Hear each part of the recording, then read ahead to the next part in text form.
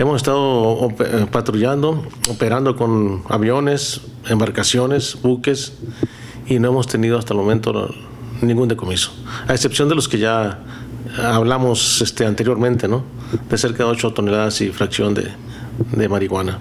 Pienso que está calmado, porque hemos estado teniendo control de nuestros mares y no hemos visto movimiento ¿no? irregular.